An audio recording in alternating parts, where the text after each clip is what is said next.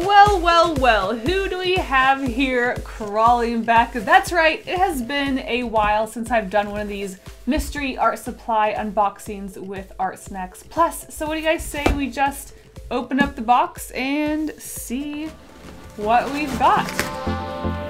So the first thing we have in our box is this Strathmore Bristol paper, which is really convenient because we can put down this paper and swatch as we unbox stuff. Just gonna sneak our paper right here. And oh my gosh, I completely forgot my favorite thing out of Art Snacks is getting these bubble wrapped why do I love them so much? I don't know. But before we get into the art supplies, we do have to check out our snack and art snacks.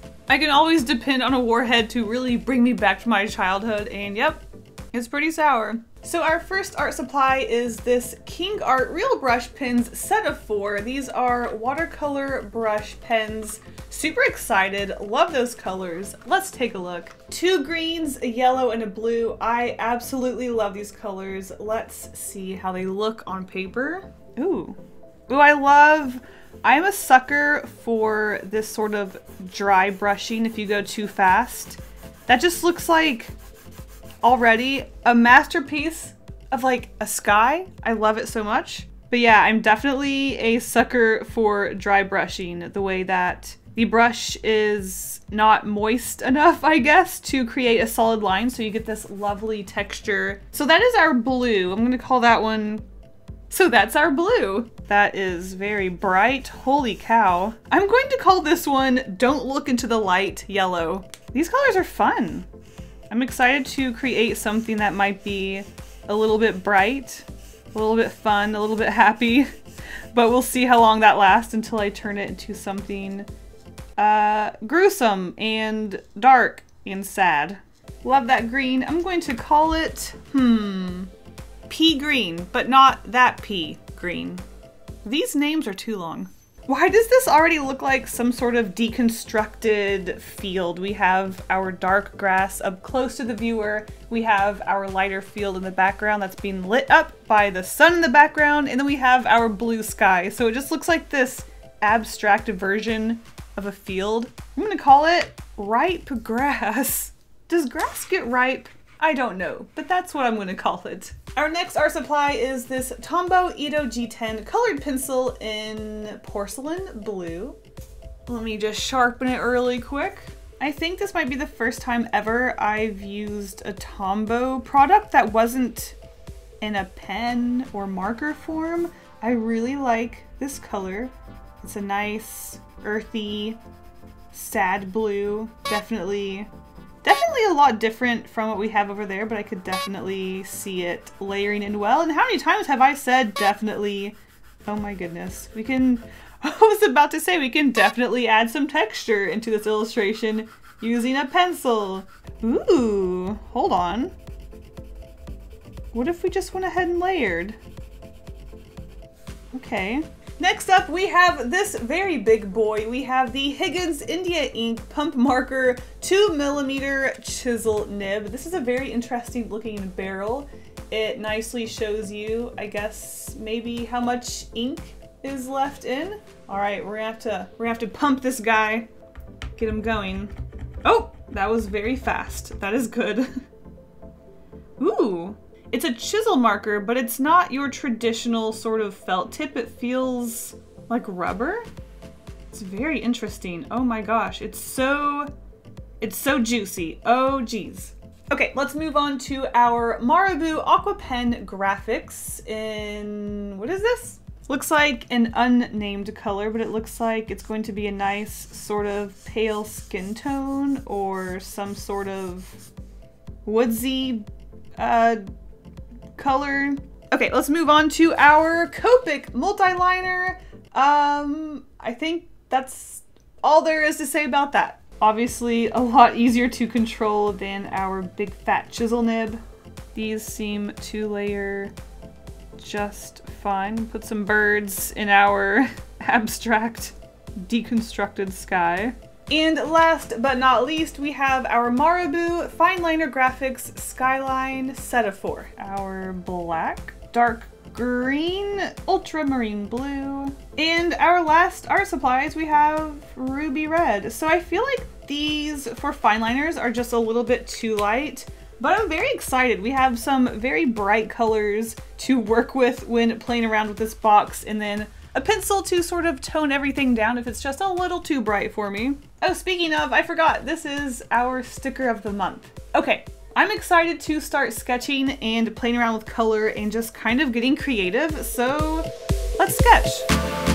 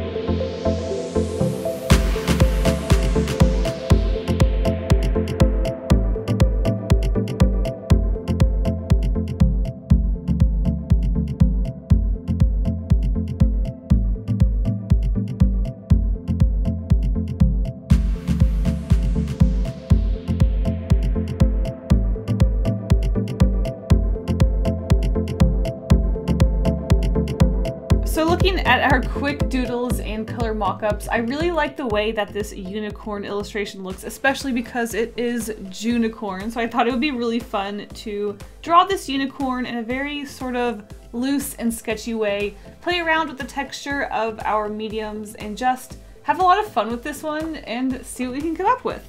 I kind of want to try to let go of it being very perfect and having good borders and straight nice, crisp, clean lines because a lot of our materials in today's box has a lot of texture happening. So I thought it would be really fun to hand draw our border here. So this is what we're going to be drawing within. So far I am loving the weird proportions on this unicorn. I'm gonna keep this up. All right, I think that's a pretty good, you probably can't see it because I've sketched very lightly ahead, but at least we have our second camera you can see. All right, let's start off by adding our sky. We're gonna start in the back of our illustration and work forward and also make sure that we work in a way that the art supplies that aren't waterproof go down last. Hopefully I can try to let go. I'm a very controlling perfectionist person, so we'll see if I can let go of that for a little bit.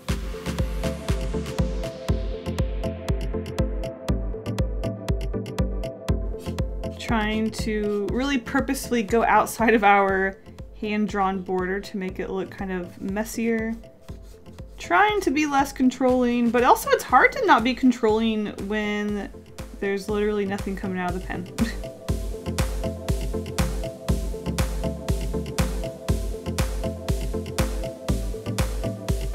Well, that took absolutely much longer than I thought it was going to, so I'm going to also add some of this blue at the top to just add texture and include this color in it just a little bit. Just a quick messy layer, nothing I'm really looking for in particular, just wanted to include the border into the sky a little bit. So I think that looks fine, I guess. Next up, I want to add some blushy, fleshy bits to, oh gosh. I do want the horse to be very pale so that it pops off of the blue, but I also want to add just a little bit of color to it so it doesn't look completely dead. Okay, that's light shading enough. I don't want to go too crazy. So next up, I do want to play around with our grass color. So I want to try to mix our lightest green with our yellow to get an even lighter green color. Okay, so we have a nice base coat down for our grass. Definitely gonna have to go through with the pen. Um, what else can we work on? Let's work on the unicorns. Yellow, very bright yellow hair. Missed opportunity. Should I have made the horse's hair super shiny with this dry brushing? I kind of like it, but I didn't do it for the rest of the hair, so it kind of looks out of place. It's the perfect shiny hair texture. I guess it'll just be there. Maybe that's where the sun's hitting the horse. JK, once I started doing it, I can't stop. More shiny hair texture. So there is the horse's hair. I think it would be interesting to try to mix this fine liner that is not waterproof into the yellow to create a nice bright orange shadow. So let's see if we can't do that. Hopefully it won't go too, too wrong, right? Is that a dark enough shadow, I wonder? I'm not really sure if that's dark enough. I hope it is. This horse has such lovely locks. Wow. I actually think I'm going to give it blue eyes so we can have the classic blonde hair blue eyes. Maybe I'll leave them scraggly so it looks spooked. Alright, coloring in the mountains in the background. I think I'm to start off with this light green and then make a dark green gradient, maybe. We'll see how that goes. Ah, wait a second, this just looks like a cactus in the background instead of a weird tall mountain. That's fine. That's completely fine. It's okay. It's fine. It's fine. Okay. Dang it, now that I said it looked like a cactus, all I can imagine now is that these are cacti.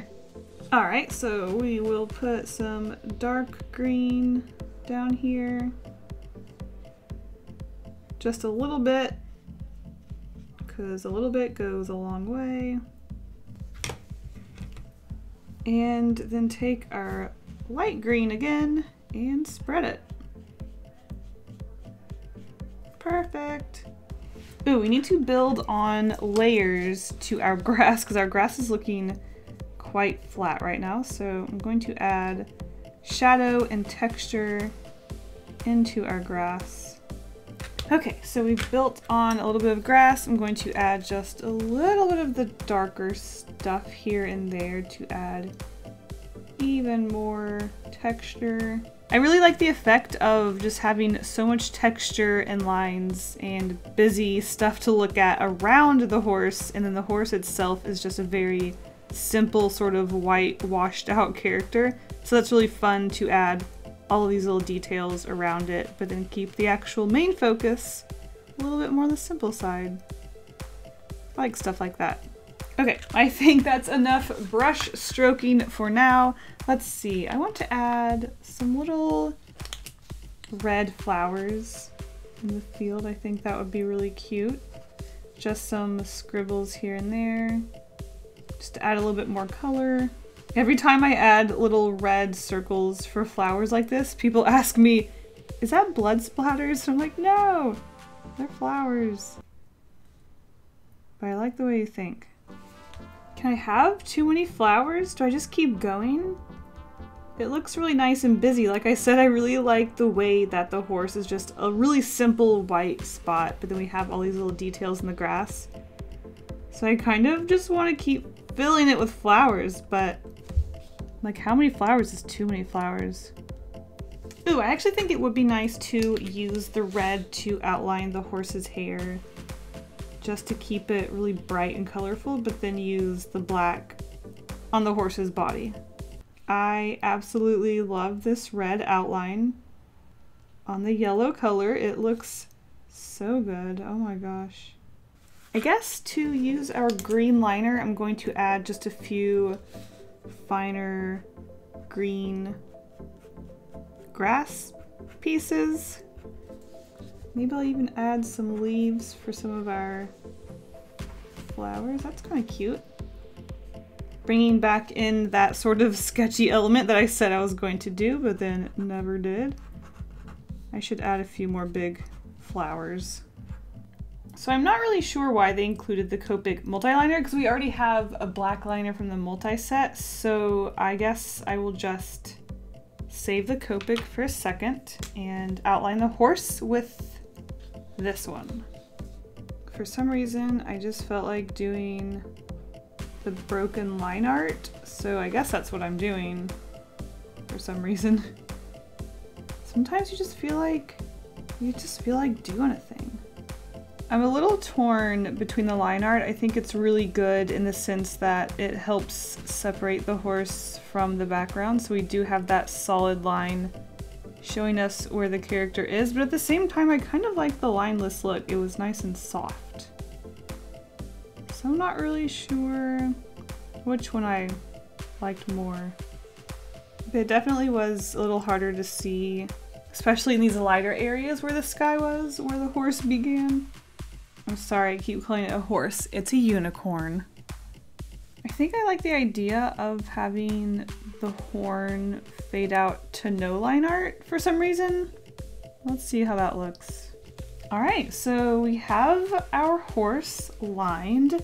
I think I'm also going to, hmm, I sort of wanted to line these mountains in the background, but I think I'm just gonna add some texture to them because these darker ones aren't super separated from the ones next to it, so that kind of bothers me. Just want to give it that extra push of separation and depth with the black line work. Okay, I kind of like that. On one hand, I want to give our unicorn texture, like fur texture, but on the other hand, I really like how simple it is compared to the background. I think that's a really nice look, so I kind of don't want to mess with that.